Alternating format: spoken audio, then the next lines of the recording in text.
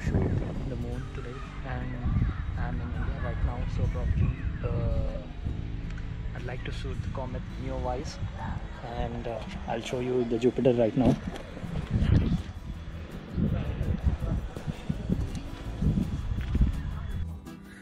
So finally I managed to capture my first star pictures and I'm about to show you now.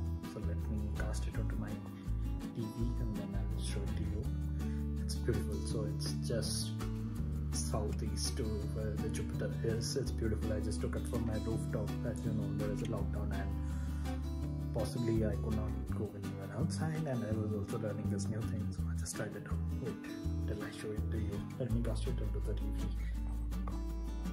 so here it is. Just see such wonderful galaxies. You can see here